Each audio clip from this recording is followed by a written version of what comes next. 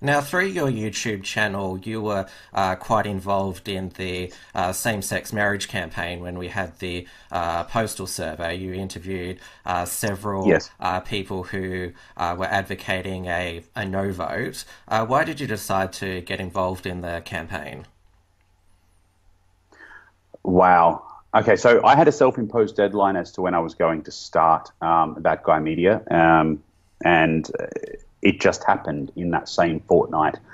Same-sex marriage postal vote got announced, so it wasn't a planned, you know, uh, it wasn't a planned thing in a sense. But um, I guess it became important to me when over three dozen of my gay friends, um, okay, as a as a libertarian and a cultural libertarian, my first thought was, look, hey, we live in a secular democracy. If Australians are going to vote that way, what's the deal?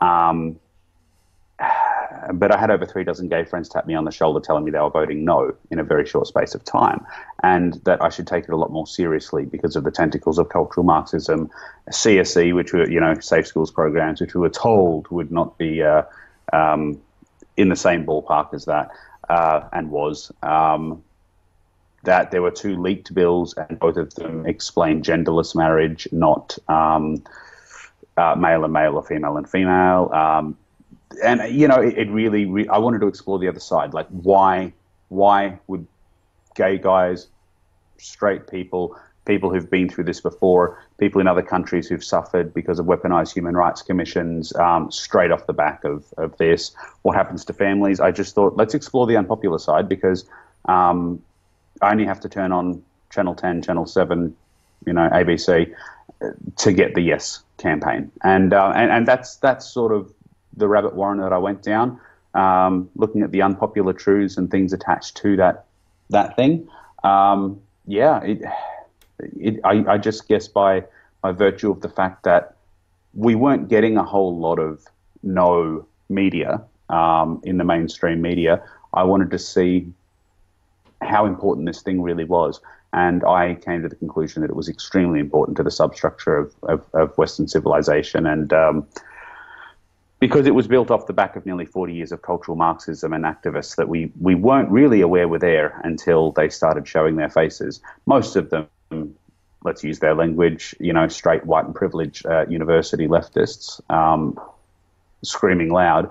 Most of my gay friends uh, didn't care at all. Uh, and, and I found that quite fascinating.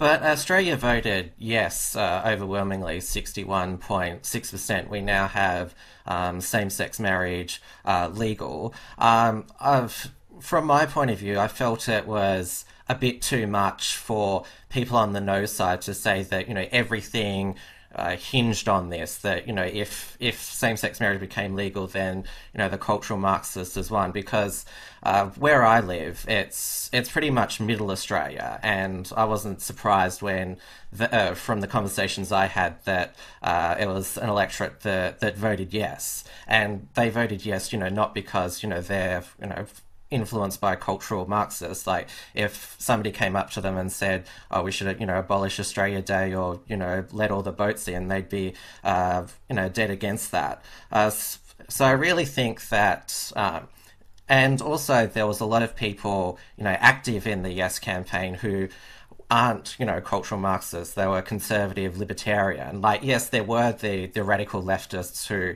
you know, were were pushing this, but I don't think it's a victory for them. They they might claim it as their own, but also what I've noticed is that after you know they've claimed this victory, they've moved on to complaining about um, something else. So I, I don't think that you know the yes vote is you know it's the um, disaster that some were making out. It's it's happened. There's you know there, there there's still a lot of you know other battles that can be won. Look, um, yeah, look, and I, I, would I would politely disagree with you. I, I think what, one of the statements you made is uh, that people weren't affected by cultural Marxism. I think anybody who's uh, basically grown up in our age bracket or you know ten years older are deeply affected by cultural Marxism and critical theory. I mean that that that uh, and the intersectional nonsense that has basically become pervasive in all mainstream media. It's a, it's it's it's everywhere. It's in everything. It's in the way we speak about. Um, Indigenous Australia, about immigrants, about any subject. It, there's a there's a there's a critical theory nature to everything that we read and touch nowadays in Australia. So, um, and look, in terms of how it plays out, look, one of the reasons that, we're doing what we're doing is that I wanted to get ahead of what I would call the alt white in Australia. There are certain um, alternative pundits out there that are very white nationalistic in their in their Richard Spencer style uh, monologues, and I thought they cannot win. They cannot win. They they can't be the ones representing alternative news in Australia because otherwise it'll be over before it even begins. Um, but you know, I, I think the reality is only I can't remember what I was going to say about that, but only time will tell what's going to happen. What's going to happen? Um, because if you look at Canada and Bill C-16, if you look at what happens in any con- uh, country where the biological um, parent is changed to legal parent, you look at how people talk about and educate things. Like if you've studied safe schools and um, the global CSE agenda, you'll be completely aware that things that mature adults could discuss and probably wouldn't, um, are being shoved down the necks of a lot of children right now. A lot of the scary, scary things that uh, we're looking at with cultural Marxism in Australia are going to be all that much harder to wind back now uh, same-sex marriage is being legalized. Because we've got to remember it's not same-sex marriage. It's genderless marriage okay so for me if it was male and male or female and female it wouldn't have been as scary but we have passed in Parliament now in the same, like within 24 hours, zero legal protections for um, people of uh, all top five major religions have a problem with gay marriage. Uh, there's no religious protections from them. There's no conscientious objections. Uh, there is no ability to, to, be able to voice your opinions in the open uh, if you disagree. And you know, five million Australians is, is is nothing to be sneezed at. By the way, um, to me, that's the biggest concern. It's not whether or not, you know, uh, two lesbians or two gay guys can get married. It's whether or not you disagree with that, you're allowed to say anything about it. Um, so, look, time will tell how this will play out. Uh, I think, unlike a lot of countries, though, like Ireland, like Canada, we actually have precedent. And again, what I was going to say is the reason we do this rather than just replaying international uh, alt media shows all day, every day, is because Australians speak a very different language. We weren't born in civil war. We weren't born in uh, a revolution. Okay, we have a very different vernacular in the way we communicate, and even though the principles are the same, you know, maybe things won't get as bad as they have across Canada and across Europe and the United States. Maybe the intersectionality in the division won't be as bad. Maybe free speech will be protected um, somehow. But, you know, I don't see it. I don't see it. Because I can tell you from a lot of my gay friends who, who, who I speak to, they did not want transgender people represented with them they didn't want to be lumped in with the, with this Marxist collective of LGBTQI plus. They're just gay guys who love their partners or gay girls who love their partners. So yeah, look, I, I do think it's I do think we if this last ninety days did anything, it probably educated people about subjects that they had no idea about to begin with, and I think Australians are probably going to be very much more acutely aware of where to from here. And I hope we don't go the way of Canada, for example. So, yeah, let's see. We'll just see.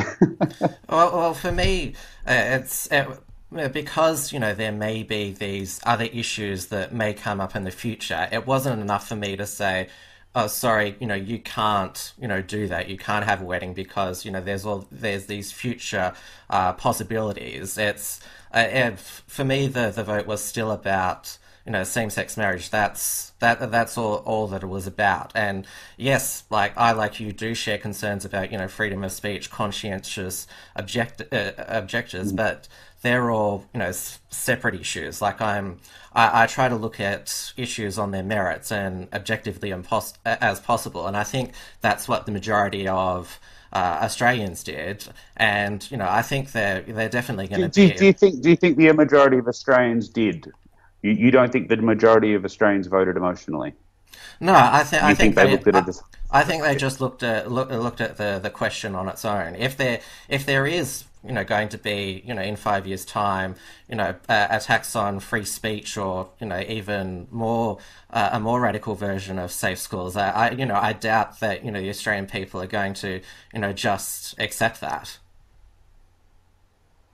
Well, okay. Four years ago, they accepted it though, and and, and this is this is the thing. One thing I think this okay, so Safe Schools was snuck in under the cover of night as an anti-bullying program, and just like a lot of CSE programs around the world, they're snuck in as uh, anti-pregnancy programs, anti-domestic violence programs, you know, anti-bullying programs, and things like that. And it's not till a couple of years later that the public realize there's radical gender theory being taught to their young children uh, that they get really frustrated. So, look, I, I think if this plebiscite did anything, it exposed people to a huge amount of issues that have been snuck in under the cover of night activists and ivory tower intellectuals who have been operating from La Trobe University and others, for example. Um, they, they, they've been exposed to things that they didn't know existed before. So, you know, good came out of it in a sense. Um, but yeah, look, we'll, we'll, we'll agree to disagree. I, I, think I think at the end of the day, um, we have precedent in every other country, the other 24 countries that have actually done this, where human rights commissions have been weaponized to anybody who has any um, disagreement, uh, conscientious objection to um, uh, gay marriage. Just just call it that, right? Uh, that in and of itself needs to be protected because all top five major religions in the world won't change their position just because the state said so. And I think you are going to see a lot of these same horrible activists who start raising hell for religious institutions, um, demanding that they should be married in a church, demanding that they should be able to use any service that they that they should so desire.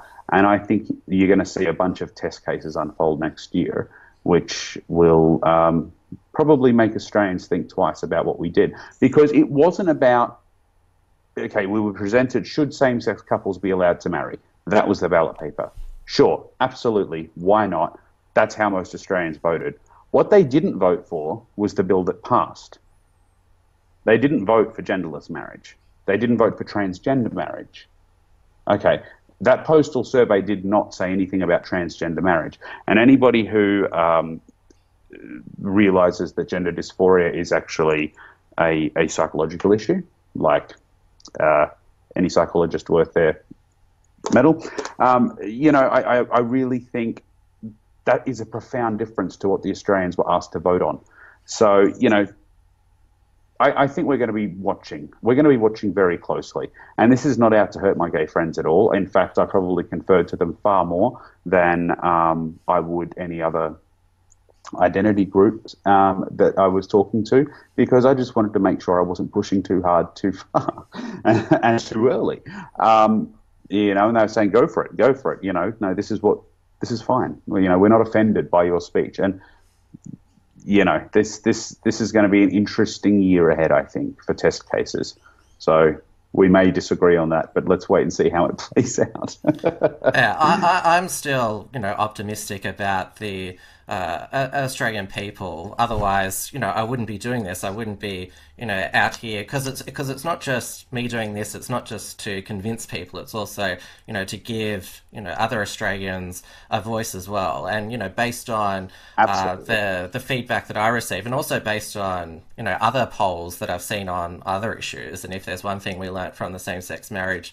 Uh, postal surveys that the polls are right, the the Australian people will defi- uh, definitely you know rally to defend against you know anything anything else that the the cultural left uh, try to throw at us. Yeah, yeah, and, and more more so now than the last forty years, and so that's the positive that came out of the same sex marriage thing.